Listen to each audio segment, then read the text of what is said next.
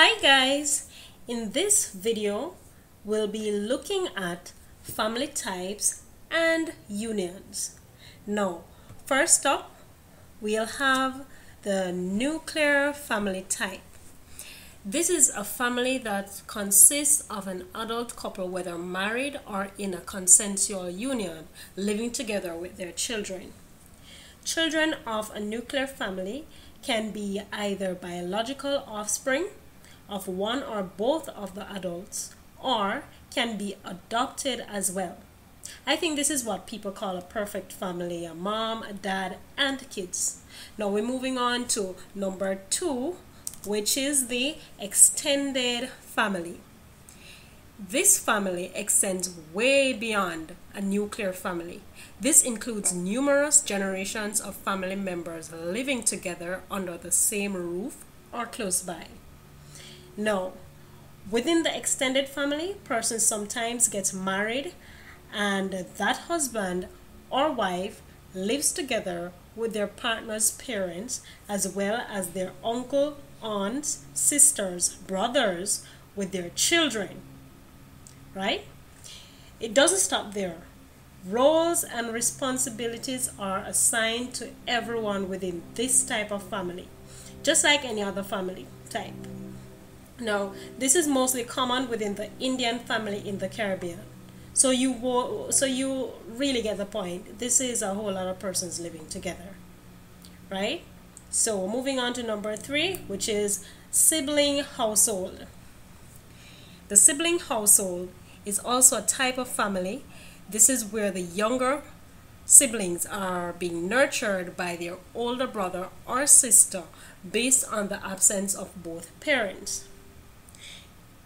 Uh, this is where the older brother or sister takes care of their younger siblings' needs, such as financially, spiritually, emotionally, etc. What they basically do is a parent's job by providing and caring for the family in the absence of both parents. This could be because parents are deceased, imprisoned, or simply away from home in search of a job. So we're now moving on to number four, which is a single parent family. A single parent family is a family with only one parent present. This could be for various reasons. This is where you have one parent as your guardian. This might be the result of um, numerous reasons, such as um, a two parent family being separated for whatever reason, or it could be migration of one parent or it could also be because of death or the fact that one parent does not wish to be um, a part of the child's life. This type of family is usually headed by the female parent within the Caribbean. Last but not least is the blended or reorganized family.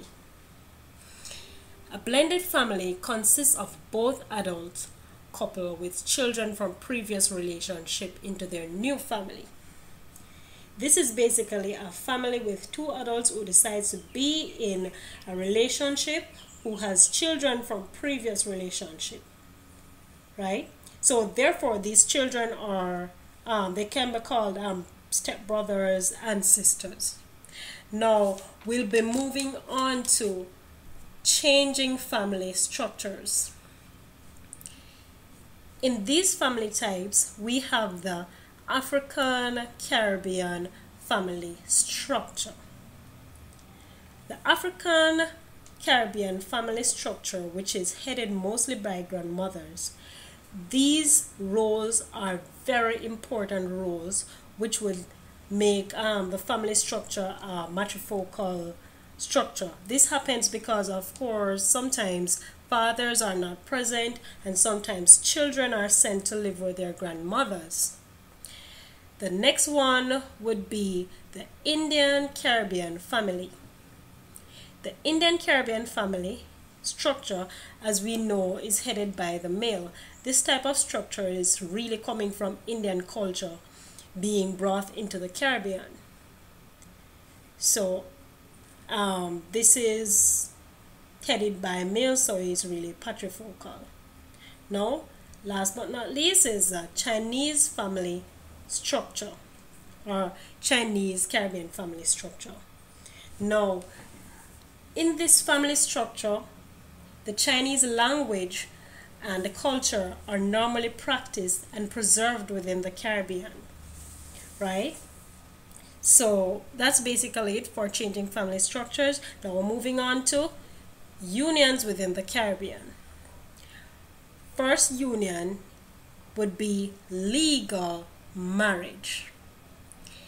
Legal marriage. This can be defined as a union between two persons recognizable by law. Now, types of legal marriages. First, we would have monogamy. Monogamy is when a person has one husband or wife. Second, we have polygamy right? When someone is involved with more than one husband or wife. Third, we have polyandry, a woman having more than one husband. Fourth is polygyny, a man having more than one wife. Well, I hope you guys got that. Don't go mixing them up though. Um, take time to know them it's easy to mix up because um, they sound alike, but just take time to know them. Very important. Okay? So we're moving on to the second type of union, which is called the consensual or common law unions. Now, this union is when two persons live together as a couple and as sexual relations, but they're not married, right? Now, the common law union, otherwise known as a consensual union, is basically two persons living together like a married couple, having sexual relations and all, but are really not legally married. The third type of union would be the visiting relationship. Now, this type of union is one where the couple does not live together but instead visits each other's residence. Now, this can be looked at as a relationship where one person visits the other person's residence, and this could be on the basis of financial support or personal satisfaction, such as sexual relations. Right? Okay, guys, that's it for now. Thanks for watching.